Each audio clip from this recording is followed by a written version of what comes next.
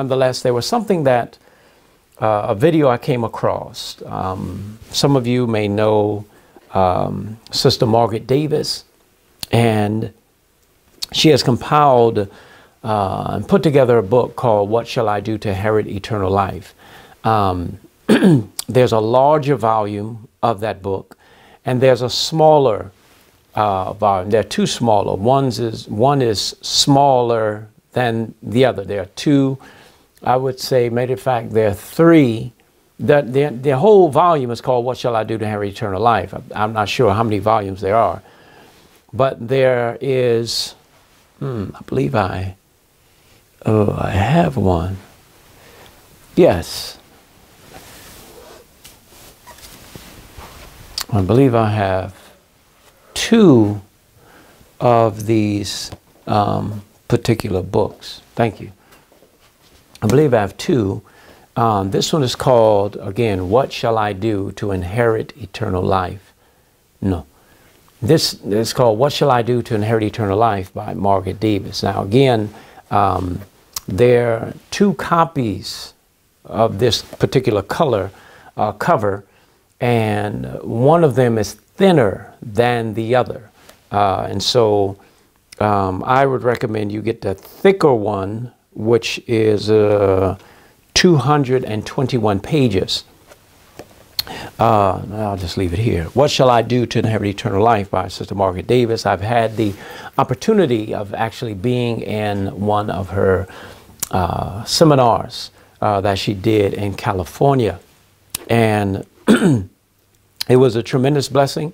Um, and what makes this particular book um, come alive is her experience, what led her uh, to begin to study um, into the subject, the coin phrase of righteousness by faith, which is salvation, which is eternal life.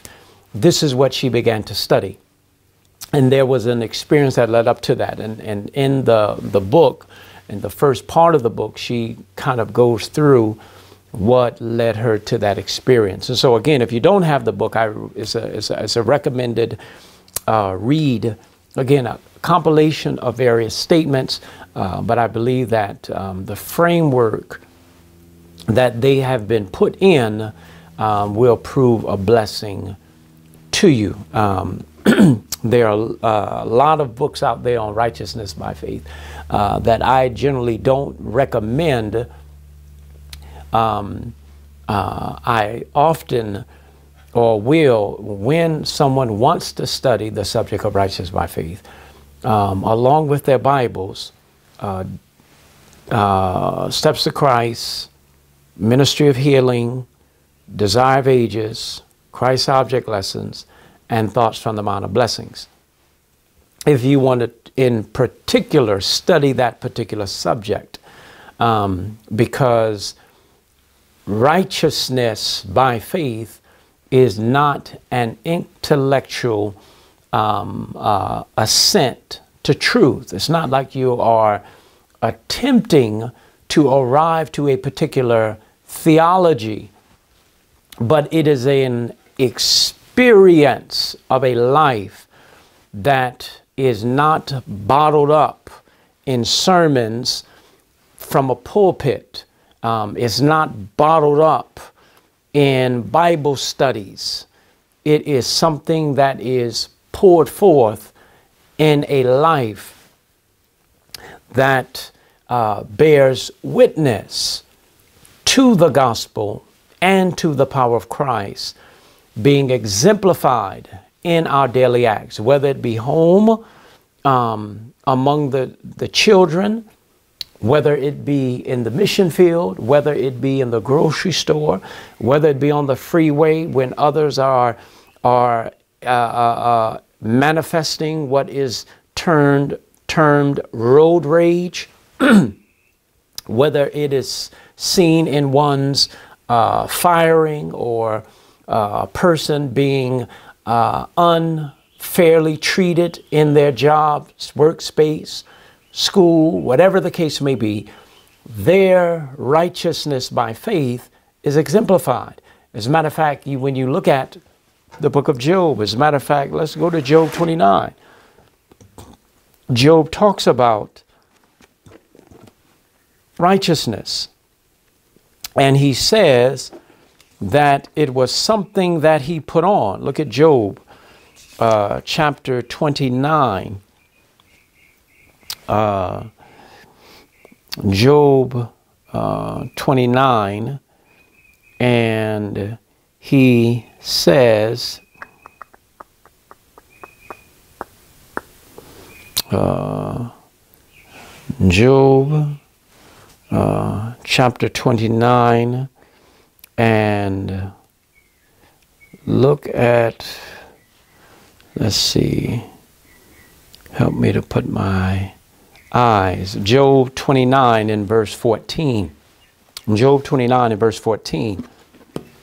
And again, I want us to, uh, again, as I mentioned, started out a video uh, I was watching a, a discussion, uh, listening to a discussion, I should say, of Margaret, Sister Margaret Davis, and she was talking about a preacher uh, during her time who has since uh, then have passed, uh, but his works are following him, his teachings. And she was talking about a pastor named Morris Venden and his understanding of righteousness uh, by faith. Uh, there are others that that uh, along the same uh, sort of line. Jack Sequeira, what many today may not be aware of. You have Wieland and Short.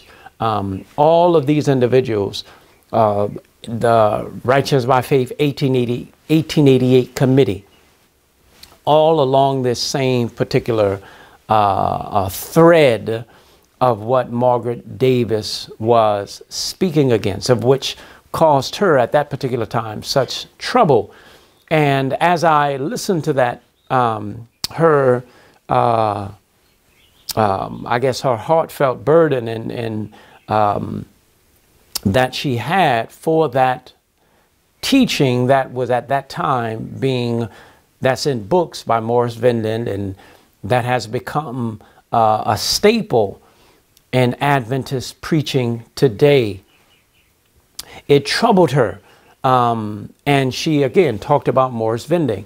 Um, he was a pastor at PUC at the time, and he traveled uh, camp meetings in various places, wrote books uh, uh, upon this subject, and it has been grasped and eaten by eager souls that um, that are were endeavoring to have victory in their lives and yet grabbed hold of something that would give them an alternative to the strenuous task of trying to have victory in their lives. And so this bypass of Morris Venden and that particular teaching, again, which goes along with Jack Sequeira, the 1888 uh, committee.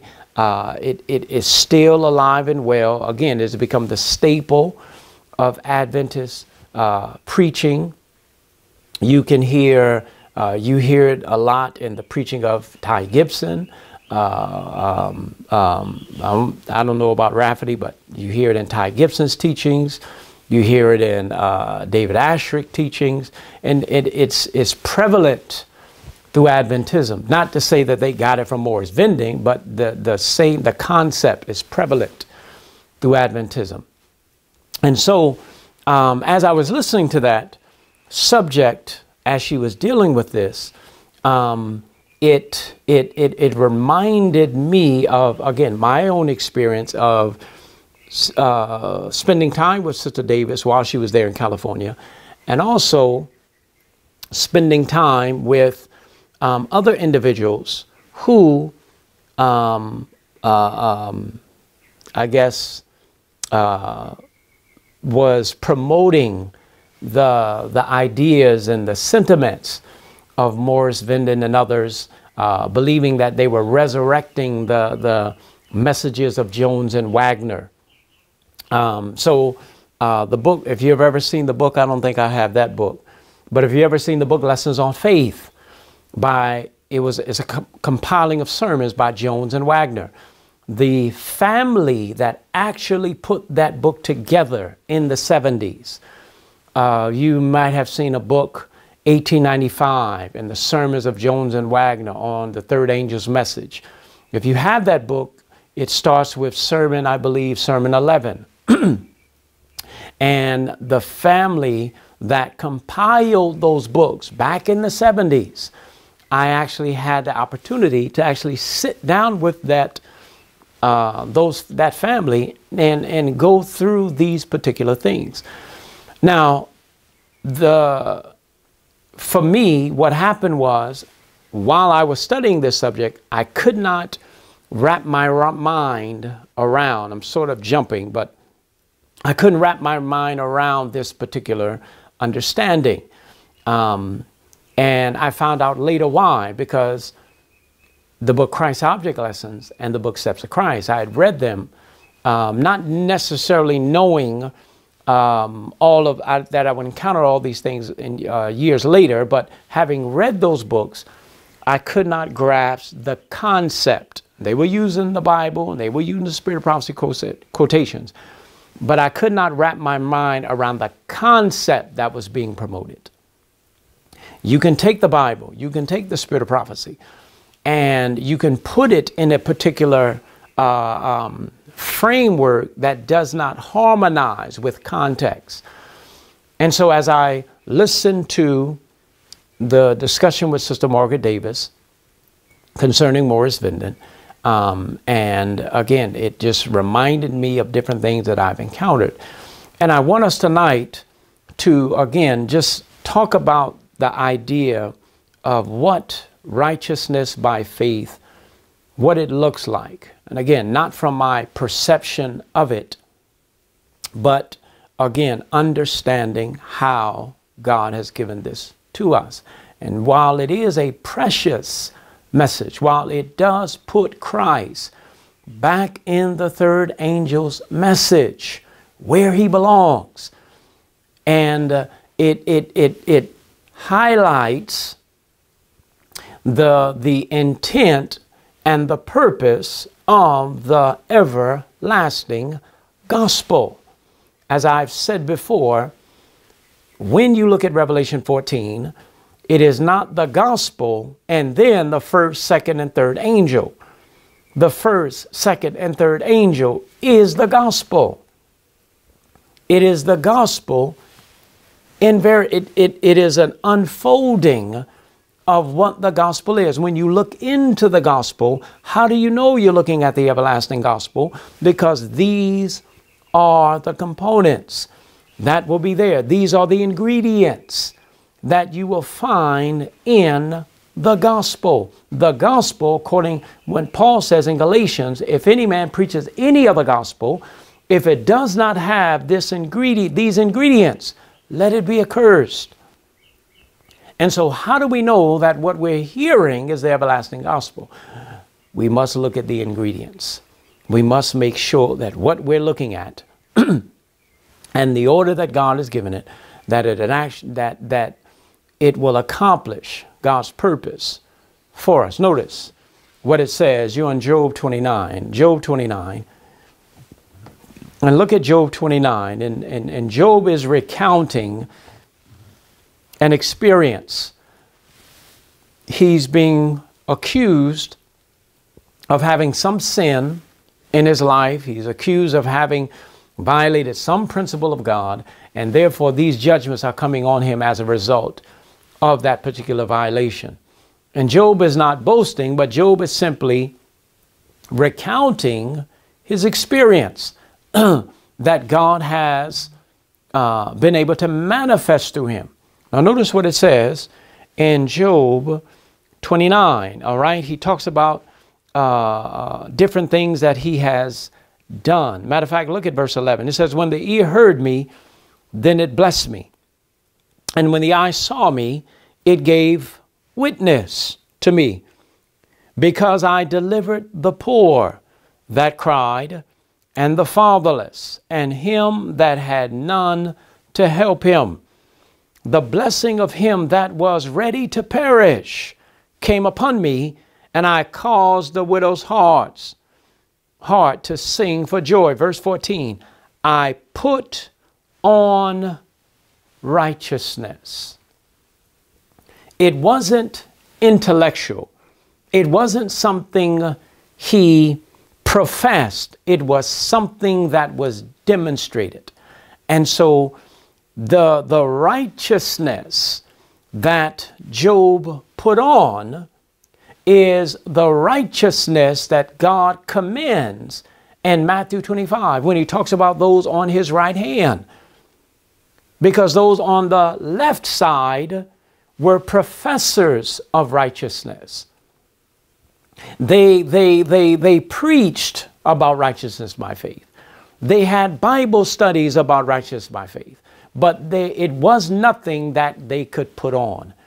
It was nothing to be demonstrated. It was all a intellectual jargon that could not motivate them to, to, to minister to those that God had ordained that those who were saved, they were saved to serve. So those in Matthew 25 on the right side, it was a righteousness that God commended. When you look at James chapter 2, there is a righteousness that is commended versus a righteousness that God wants nothing to do with. Show me thy faith without works. That's intellectual. That's Bible studies. That is a disregard for the principles and the standards and the reforms of God. But he says, But I will show thee my faith by my what? Works. Faith without works is dead. What faith?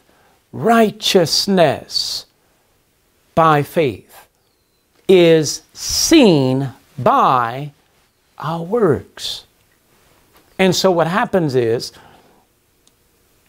you have a you have a group of uh, you have individuals who recognize that there's something that, that, that something in their life is not right. Rich young ruler. Let's take him for an example. Rich young ruler. He saw the work of Christ. He, he witnessed the, the, the love of Christ. He witnessed Christ uh, uh, coming close to the people. He saw that uh, uh Christ exemplified a love that he had not witnessed before, neither in the church or anywhere. And he was moved as he saw the ministry of Christ, the compassion that Christ had for old and for young, for the sick and diseased. And this is what led him to say, Lord, what must I do to inherit eternal life? What must I do?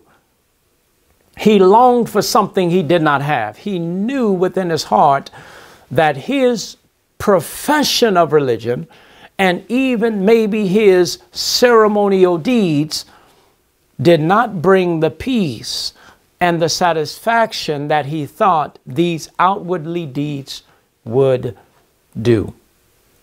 And so he's drawn to Christ and he's Lord, good master, uh, uh, what must I do to inherit eternal life?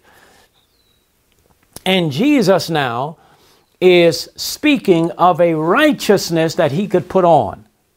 Jesus is asking the man to become a partaker of his suffering that he may be a partaker of his glory. His man is rich, Jesus was rich. Jesus became poor. Jesus was asking this man to become poor. He was asking the man to become a sharer in his suffering. But the man was more satisfied with an intellectual assent to truth than he was in a vital godliness, godlikeness. And so rather than counting the riches of this world like Moses, uh, uh, nothing, and grabbing hold of Christ and casting the world behind and taking up his cross and following Christ, he was more in love with his status in the church. He was more in love with his status. And the Bible says he went away from Christ sorrowful. To do what? To continue in a lifeless form of ceremonial righteousness.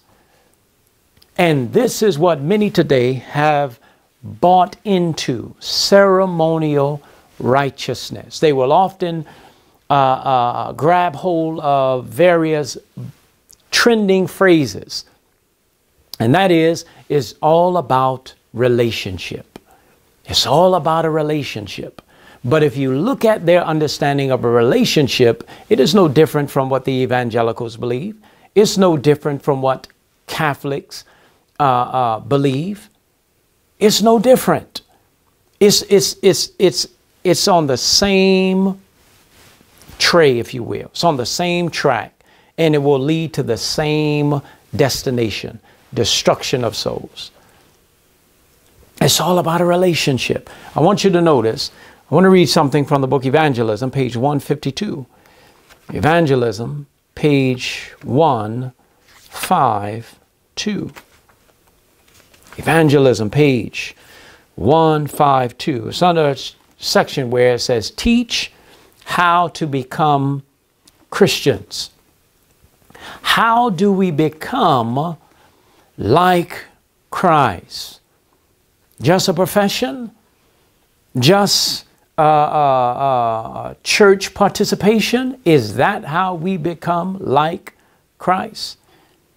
It says, I distinctly, I wish you to distinctly understand this point that souls are kept from obeying the truth by a confusion of ideas, and also because they do not know how to surrender their wills and their minds to Jesus. They want special instruction how to become Christians. Watch this point again. I wish you to distinctly understand this point that souls are kept from obeying the truth by a confusion of ideas. Right? It says, and also because they do not know how to surrender their mind, their wills, choice, and their minds to Jesus. They want special instruction on how to become Christian. How do we surrender the will, the choice, and the mind to Jesus? How do we make that choice? How can we come to the point of continually acknowledging Jesus. How do we come to the point of trusting in the Lord with all our hearts, leaning not to thine own understanding, but in all of our ways of life, we are willing to acknowledge Him. How do we come to that point? And what we often may not necessarily examine to the fullest extent, it is found right in the Word of God. It's found when John says in John 129. Let's go there, brothers and sisters. John 1 29. Notice what it says. John 1 29. mm, John 1 29. And uh, I want us to look at what the scriptures tells us there. Okay. Um, mm-mm, mm-mm. You're not there. You're not there. Uh, mm, mm. Mm, okay, okay. Not there. You're not there. You're here. You're here. Okay. Desire of Ages 439. I want you to put that down as well. I want to look at that. Desire of Ages, page 439. All right. Steps to Christ. I believe it's page 81. We'll see if we'll get there. All right. But I want us to notice now, again, let's keep how how do we surrender the will, the choice, and the mind to Christ?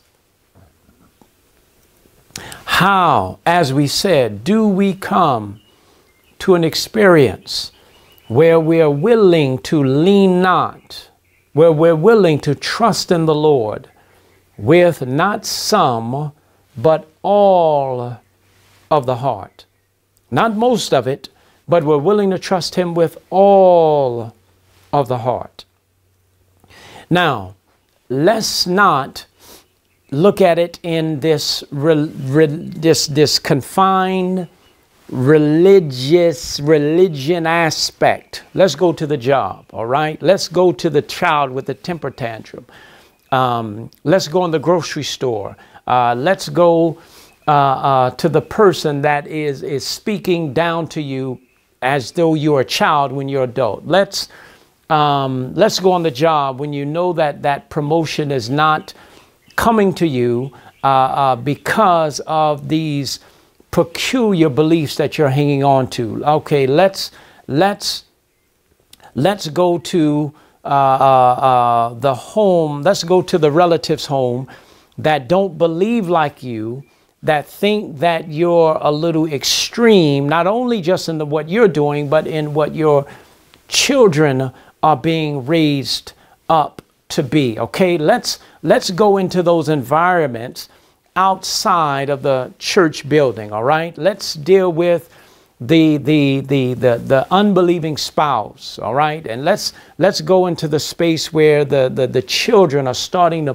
pull away now. They're getting older and they're starting to pull away. Now, in that environment, how do we surrender the will and the mind to Jesus? How do we, in that situation, temper tantrum, right? The child is throwing an attitude, the child is speaking to you as though you're the child and they're the adult, all right? The, the spouse is, is questioning your, your, your ability to be a parent. Your, your, your experience is being questioned. In that environment, how do we trust in the Lord with all of our hearts? How do we, in that environment, lean not to our own understanding, but how do we, in that environment, uh, um, in, in all of the situations we're doing, we're going to acknowledge his ways. Because the promise is he will direct our paths. Not independent of those steps, trusting in the Lord with all our hearts, leaning not to our own understanding, acknowledging him in all of our ways and the promise is, I'll direct the path. Not independent of these three, but He wants to direct. And the problem that we often find is we're looking for direction, but we're not doing our part. And this is one of the things that Margaret Davis, in, in the book, What Shall I Do to Inherit Eternal Life, she brings that out God's part, man's part. Though our part is immeasurably small to the part of God, it is essential. It is essential. It is essential. All right, so not independent of these three steps will God direct you in what you need to do. All right? And notice, so here we are in John 1, John 1 and verse 29. John 1 and verse 29. The Bible says, The next day John seeth who? Jesus coming unto him, and saith, Behold the Lamb of God that taketh away the sin of the world. Not just the sin as the offense, but by beholding Christ, we are willing to surrender our sympathy for sin. We're willing to surrender our sympathy for sin.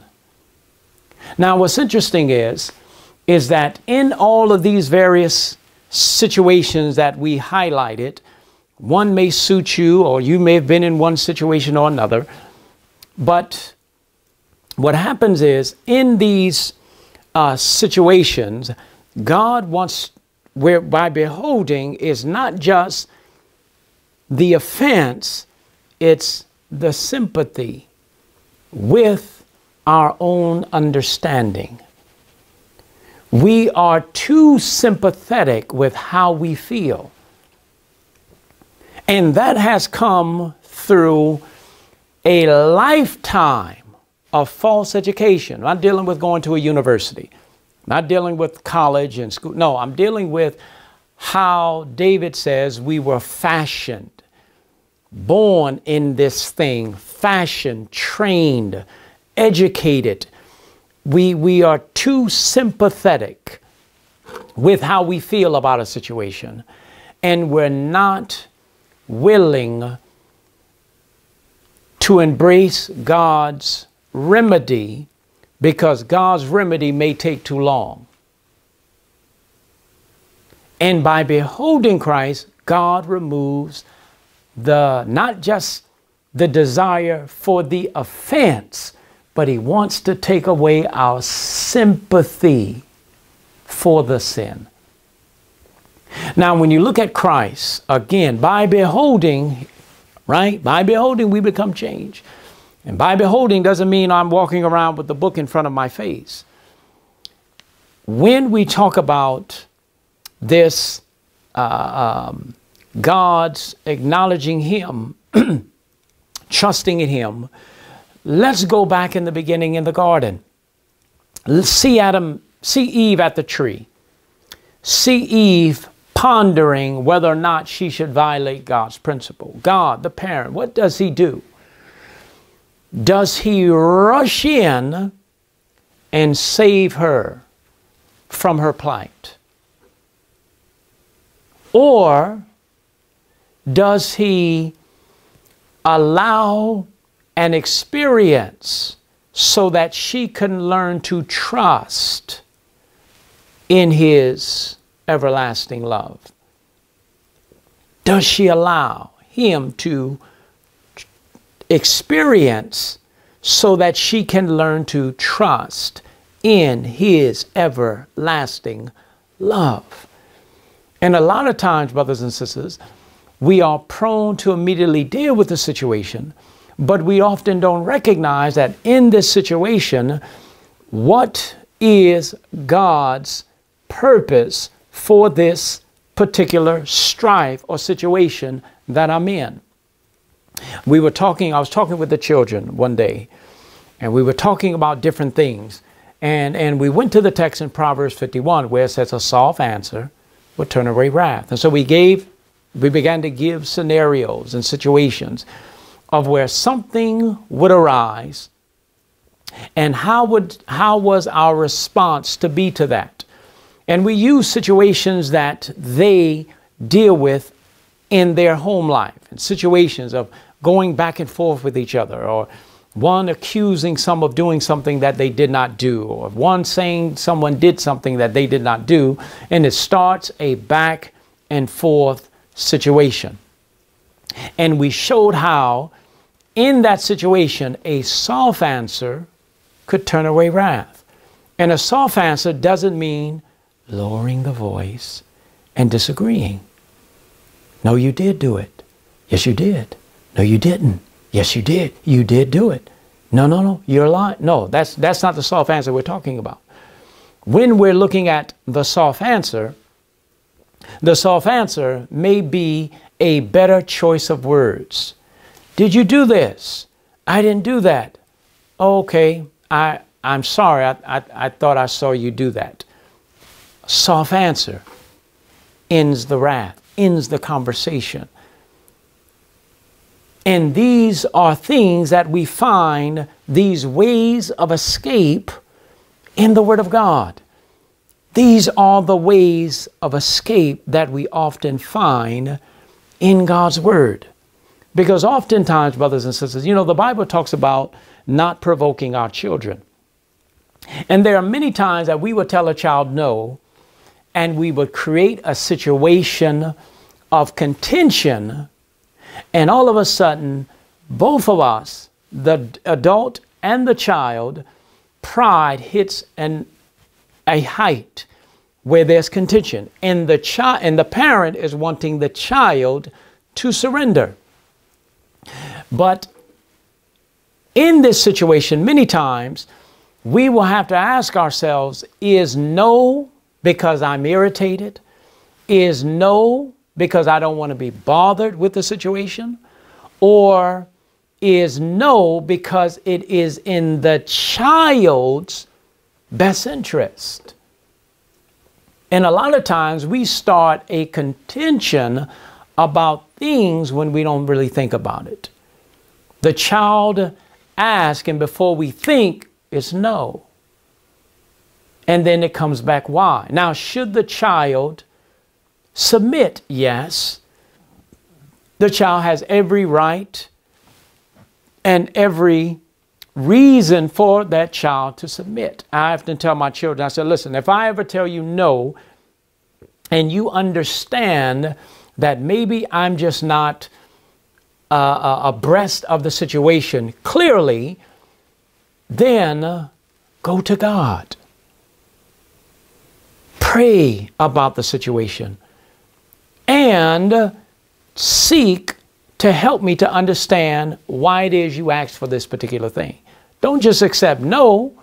Now, if there's something obvious there that, that will bring harm, accept the no and, and allow time to be a reveal of all secrets.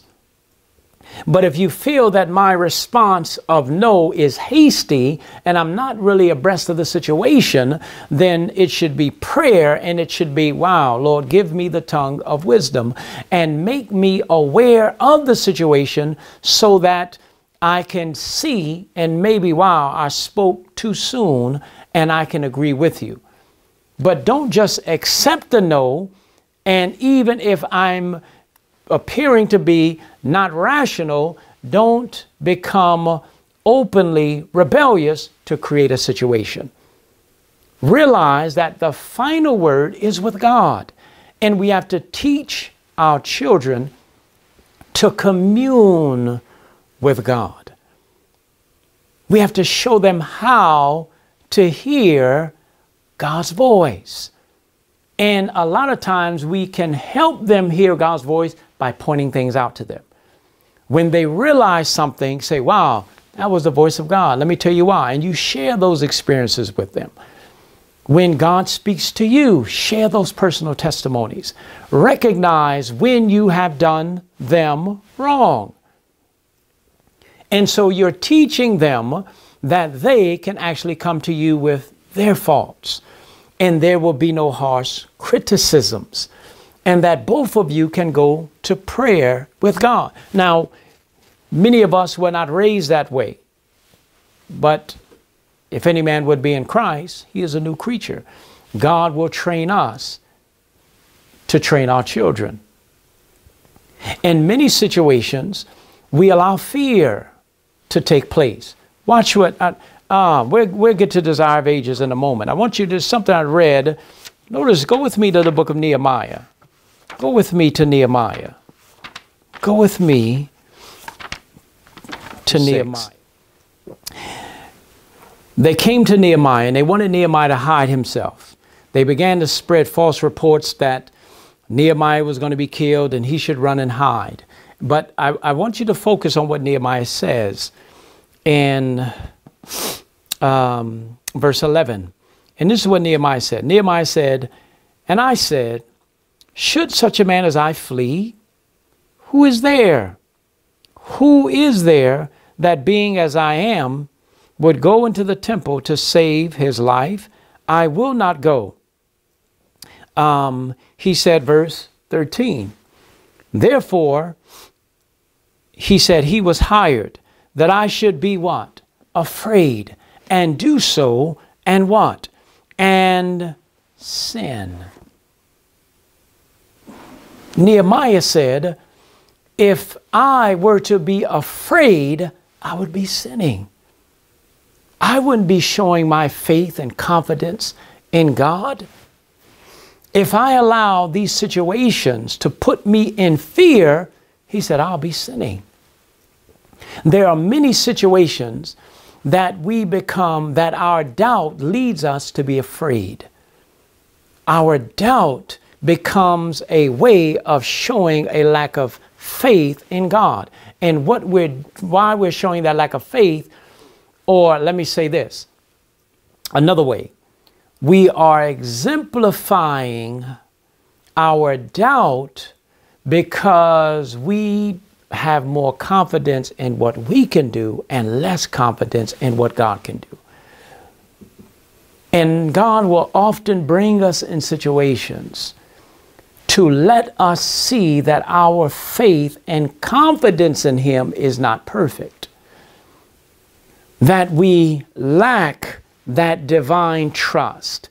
We lack that faith in God's promises.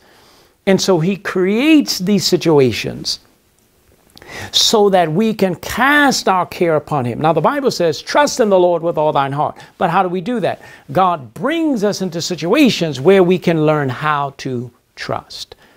He brings us in situations where we will uh, um, uh, uh, uh lean not to our own understanding. He brings us in situations where we can uh, uh, Trust in the Lord with all our heart. Lean not to our own understanding, but in all our ways acknowledge Him. So God creates situations where we can learn to trust Him, where we can learn to uh, uh, put our confidence in Him and lean not to what we think, but trust to what God has said in these situations. There are promises that God has to meet us in every situation situation. And when we're manifesting faith in the promises of God, we are exemplifying the righteousness of God. We are exemplifying the righteousness of God. It's something that, brothers and sisters, that has to be a part of the life. It is something that must be seen by those who would look on as they behold the righteousness of God, as they behold our experience of learning to live moment by moment, day by day. Now, I want us to go back. We looked in uh, John 1 where it says, Behold, the Lamb of God was taketh away the sin. Now remember, all of this is what we read in the book Evangelism, where it said, in the book Evangelism, uh, 152, where it says, There are those who are kept from obeying God because of a confusion of ideas. They do not know how to surrender their wills, which is their choice, and their minds to Christ. They want special instructions. Special instructions. And so, as we look at the Bible, God is given or God gives special instructions as we go from one lesson to another, from one scene to another, God is teaching us how to trust in Him with all of our hearts, how not to lean to our own understanding, how to acknowledge Him in all of our ways. And the direction of our paths, that's God's part. We're looking for the direction when we're not trusting, when we're um, uh, leaning to our own understanding, and we're not acknowledging Him. We're, we're moving in fear. We're, we're, we're making decisions. We're not, we're not stopping and saying, Lord, um, um, I don't know what to do. And in the meantime, I'm going to wait on the Lord. Wait doesn't mean to be idle. Wait doesn't mean to just be carefree and go on to something else. Waiting is I'm trusting and I'm searching for wisdom as to how to continue to approach and move forward.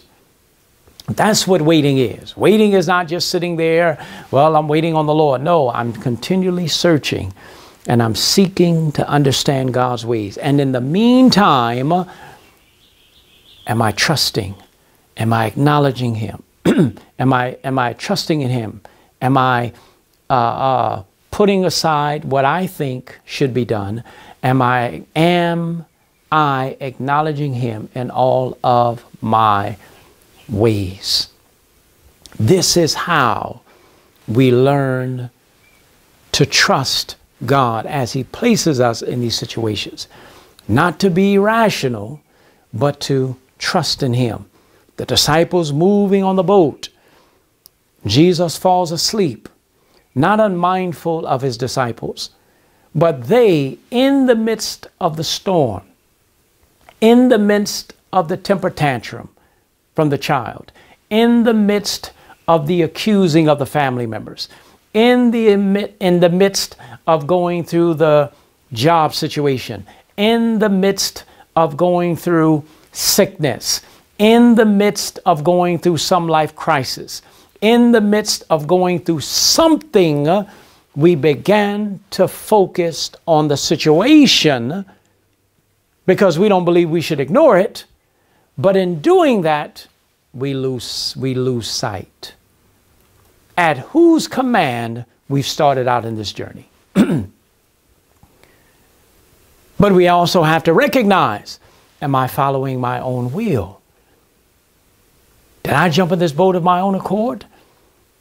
Did Jesus bid me to go this way? and so in dealing with the situation. Pre-adventure, he did. Pre-adventure, God has led us in the, the way we're going. And as we begin to look at this particular situation that we find ourselves in, all of a sudden, in the midst of this war that we're in, light flashes and we see Christ. Light flashes and we see Christ. And even though our prayer, because remember, when the disciples called Jesus, that was prayer. Lord, carest thou not that we perish? Or, Master, carest thou not that we perish? They were praying and they called out. And their prayer showed faith, showed a lack of faith. But God answered them according to their need. And this is where we're told that our need pleads most eloquently in our behalf. Even when the words of our mouth is not in harmony with our need. Praise God, He does that. And all of a sudden, Jesus steps up, calms the situation, and looks and says, Wherefore did thou doubt? And so now, what is God showing us in that lesson of Him moving with His disciples? One lesson is, is that we lack the confidence in God that we should have. We allow too many circumstances to ruffle our feathers. Situations irritate us too quickly. We get frazzled too fast. We adopt the fears of others. And this is why we must have to be slow in letting people come to us with their complaints. Because we adopt the fears of others. And then others will have us in board meetings and business meetings yelling things that we don't even really believe. We ain't even taking the time to just stop and pray. We've just accepted their fears. Why? Because we, uh, they're my brother and they wouldn't lead us astray. And so we go into an argument saying, wait a minute, not listening for God's voice. I'm going in there based off their argument. And I don't like them because my friend doesn't like them. My brother doesn't like them. But we haven't stopped to just wait. We haven't stopped to wait. And so God shows us in these situations that we don't trust Him like we think we do. We don't trust Him like we preach we ought to.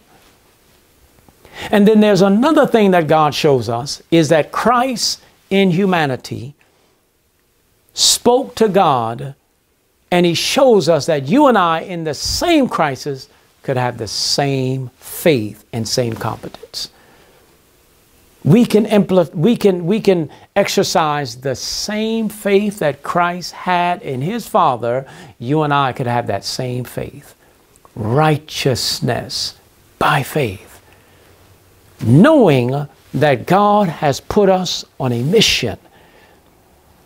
And uh, if it be the will of God, He will dry up every ocean before He lets us perish because there is a mission God has put us on. That's confidence. That is not, that is not uh, um, uh, uh, cockiness. That's confidence in God. And so our prayers don't have to be like the disciples was in that boat, a lack of faith, but praise God, Jesus answered according to our need and not according to our words. And God has answered us many a times, not according to your words, according to your need. And so while you're trying to deal with a child, and you're trying to deal with a spouse, and you're trying to deal with a job, and you're trying to deal with these things, you need to deal with Christ. Because Christ can turn the rivers of water, can turn the hearts of men like the rivers of water.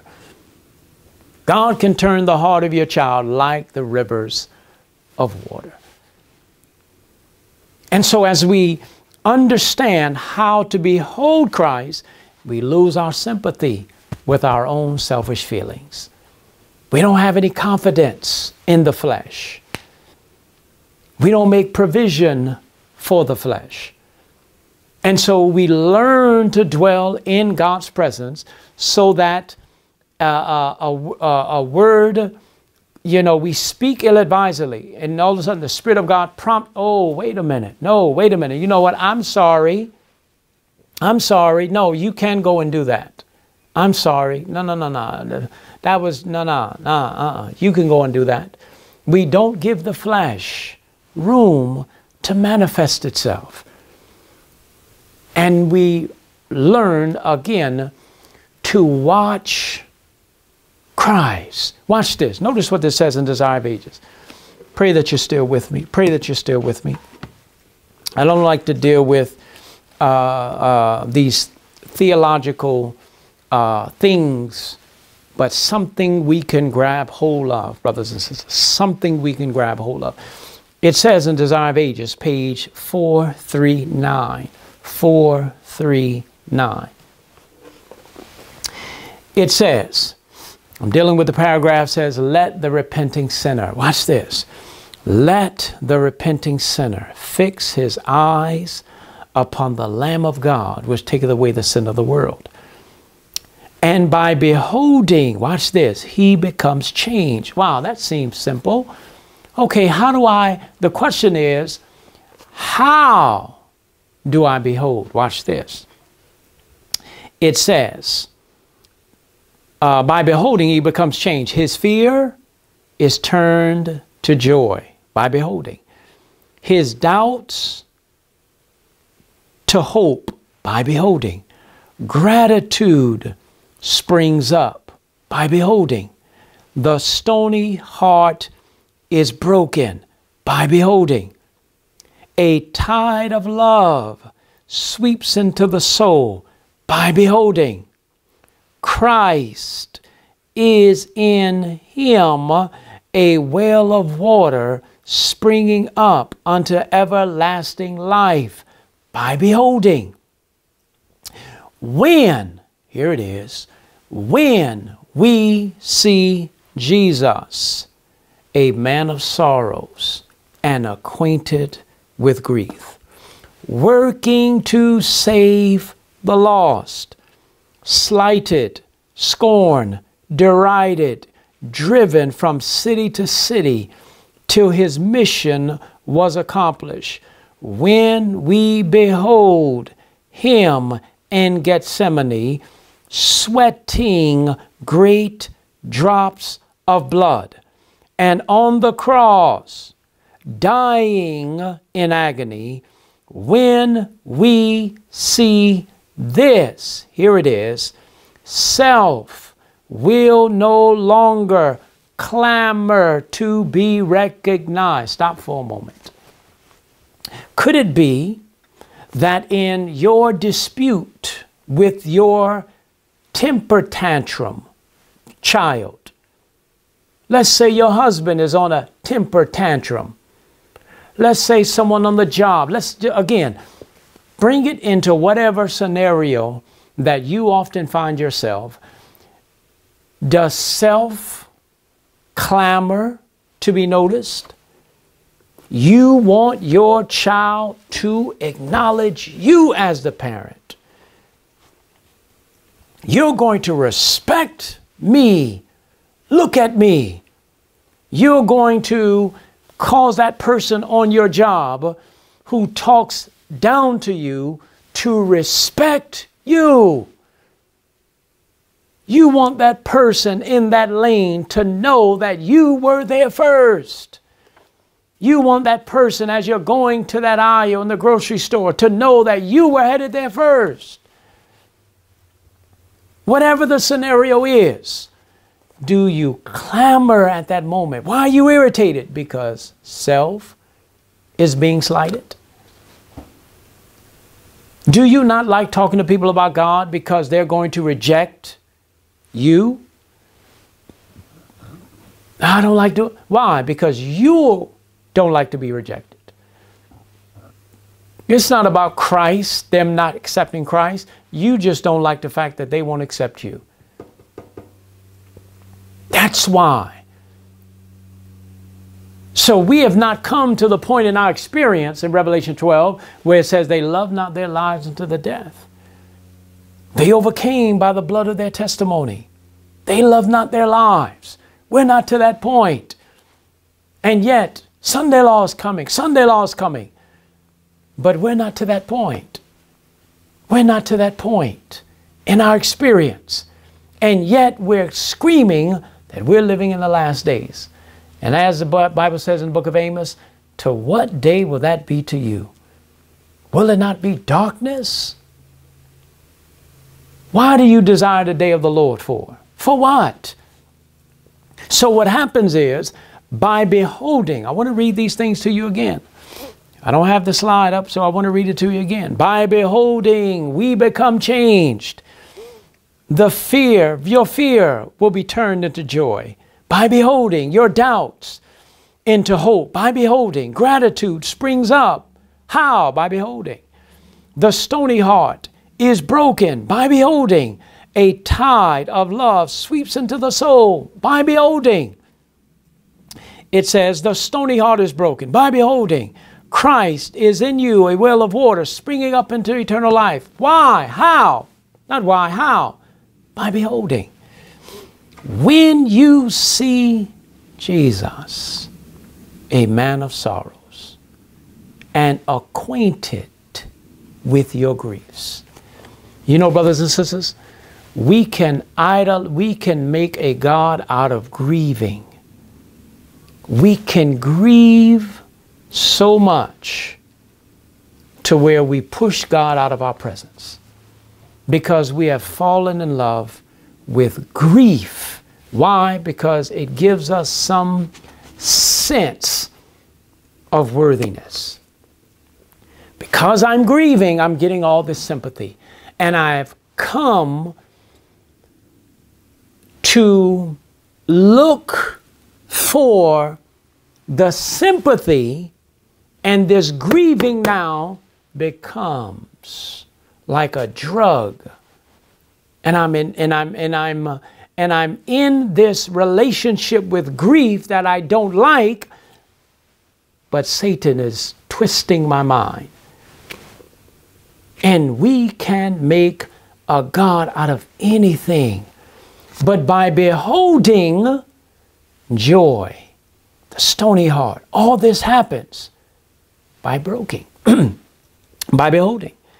When we see Jesus, it says self, self. The greatest battle that you and I will ever have to fight is the battle against self. That's the greatest battle that you and I will ever have to fight. It's not with the Pope, it's not with the Congress, it's not with the laws of the land. Is it it is with self. And so while we are informing the world that we're living in the last days, we must make sure that we are drawing, drawing, drawing them to behold. Because the world's been bitten by the serpent. They've been bitten by the serpent. And the church been bitten by the serpent. And so while we're pointing, yes, we're living the last days, but brothers and sisters, people are dying. Why? Because they're not looking and living. They don't know how to. They don't know how. So it's a battle now. It's a battle with whether or not you believe you're in the last days or not. It's, we're battling, brothers and sisters. We're fighting. We're, where everyone is trying to save themselves. It says, Self will no longer clamor to be recognized. Looking unto Jesus, we shall be ashamed of our coldness, our lethargy. You look that word lethargy up in the early writings, it talks about the Laodiceans. We'll be ashamed of our Laodicean condition. We'll be ashamed of our self seeking we shall, verse 4, page 440, we shall be willing. All right. Willing. Willing is a choice. Willing is the choice. We shall be willing to be anything or nothing. Let's go back to the point. Many want special instructions. Many want to know how to surrender their wills and their mind to Christ. How do they do this, brothers and sisters? It's not a Bible study class. It's not a righteousness by faith seminar.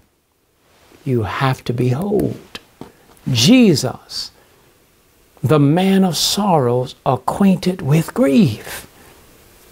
You have to follow Christ's life. By beholding, you will be changed. That's what you have to do. You have to fall down on your knees before the Word of God and say, Lord, open mine eyes that I may behold the wondrous truth in thy law. Like the men that came from, from, from Greece, we would see Jesus we can say, like Mary, Lord, where have you laid him? Where have you laid him? And as we read with that intent in the Gospel of Genesis, you'll see Jesus. You'll go from Genesis to Exodus and you'll see Jesus. You'll go from Exodus to Numbers and you'll see Christ. You'll go from Numbers to Leviticus from Leviticus to Deuteronomy, from Deuteronomy to Joshua, from Joshua to Judges. And everywhere you go, you will see the footprints of Jesus. And you'll just keep following. You'll keep following. And you'll be able to see the providence of God, how He's been drawing you, drawing you to Himself. And we are told, subsequently, I believe it's page 21 or 23, that if you do not resist, you will be drawn to him in repentance. You will be drawn to him. He, he's drawing you to himself. And so now, as beholding this, you'll be willing. Willing. What is what willing? You will choose. It's a choice. It is a it is a consent of the mind. It's not impulsive. You don't, oh, I'm I'm I'm impulsively. No, no, no. You're not impulsive. It's a choice. Regardless of what your impulse is, you have to make a decision. Righteousness is not impulsive, it's decision making. But you will have an impulse to do and choose what is right because it is right. Not because doing right will bring you some favor. Doing right may get you hung on a cross. Doing right may get you in the lion's den. Doing right may get you persecuted. Doing right will get you put out. But you're doing right because it is right and it's not about you. That's what doing right will do. But many of us, brothers and sisters, are not bothered with doing right. We're bothered with how we look. We're not willing to accept loss in anything. We work for it, we want it. We can't get it, we'll go to the streets and fight for it. We'll even pray that God will smite with the fist of wickedness so we can have it. And we will use Bible texts and spirit of prophecy quotes to justify ungodliness. But, brothers and sisters, as the Bible says, be not deceived, God is not mocked. What we justify down here among each other has nothing to do with what God sees in those books. We can ignore and we can do we, we, we can come up with any excuse we want. But God is not fooled by our half-heartedness.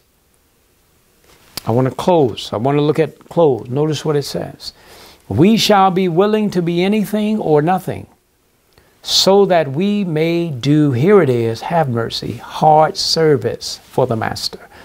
We shall rejoice, it says, to bear the cross after Jesus, to endure trial, shame, or, or persecution for his dear sake. Desire of Ages 439, 440. The chapter is Who is the greatest? Who is the greatest? I want to look at something very quickly in Steps to Christ. Steps to Christ, page 47. Brothers and sisters, I'm Oh, I wish we can. Uh, uh, I said we want to get into a study in the book Christ Object Lessons. It's just that time, time is going to be a, uh, a lengthy study. Um, I'm not going to try to breeze. I'm not going to cover everything. I can't cover everything in the book Christ Object Lessons. But we there, there's some things that we in in, in time, time. Uh, there are too many uh, uh, things that's going on that will cause us to go and break and go and break. So we have to get some time where we can just have and we can just actually go through it. I'm reading from Steps of Christ, page 47. It's taken from the book Steps of Christ, chapters Consecration. It says, it says, many, many, many are acquiring. How shall I make the surrender of myself to God? You desire to give yourself to Him, but you are weak in moral power. Let's, let's bring in all of the scenarios we talked about. In all of those scenarios, you're weak. You get around family members who you know don't believe, who you know uh, they may call themselves Adventists, they may call themselves whatever, but they don't believe the Word of God the way you do. They don't subscribe to your fanatical, extreme views when it comes to your children, when it comes to diet, when it comes to your choice of, of, of, of what they called entertainment and what you call rec- true recreation. They don't subscribe to those ideas. And so when you get around them, they begin to say certain things, and all of a sudden you become weak and you don't want to tell your child no because you don't want to offend them. You know, they playing with a video game with guns and, and violence, and you want to tell your child no, but you don't want to offend them because then that makes their child looks like look like they're not doing something right. So you're weak in moral power in that situation. You're in the church and, and yes, you're, you're, you're, you're in the business meeting or you're on the board meeting and you don't want to seem fanatical, but, but you don't agree with what's being done. You know, you don't, you don't agree with the teachers that are being selected, but, you know, God's got it and, you know, this is his church, he'll fix it. You know, you don't read that in the Bible, the spirit of prophecy. However, but you're weak in moral power. You just, you're just going to sit and you're going to bite your lip. And although you see your children being influenced negatively, you find some way to justify the compromise. And the reason why is because you're weak in moral power. You don't know how to say no. You see that this is not helping your children, but you're not but you're going to continue to push and it, you're weak in moral power. Blessed are the poor in spirit, for theirs is the kingdom of God. We have to recognize our poverty of soul. We're weak, but God will give us strength. So the question is, how do I surrender? I'm weak in moral power, in slavery to doubt. I'm controlled by habits, by the habits of a life of sin. My promises and my resolutions, they end by January 19th. Um, I, I, I can't control my thoughts. And the reason why I can't control them is because I'm constantly listening and watching things that are constantly feeding the negative. They're constantly feeding the flesh. This is why I can't control them.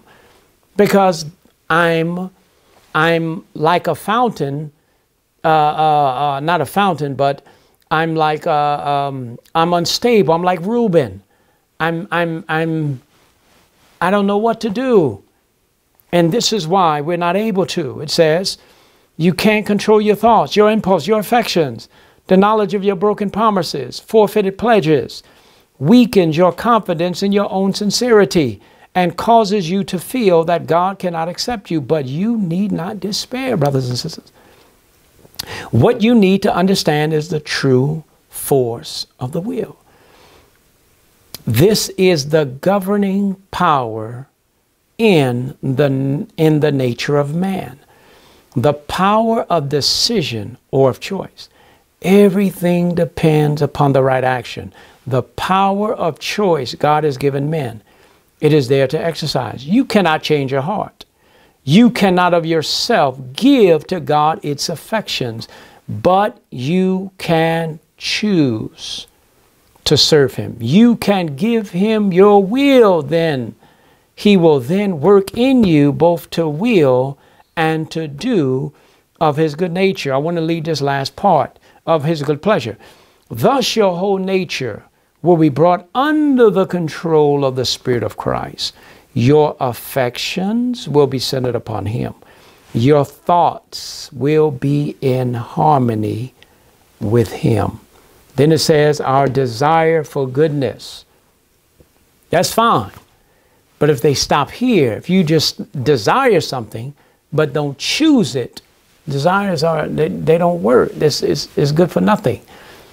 The desire must become action. You must make a choice.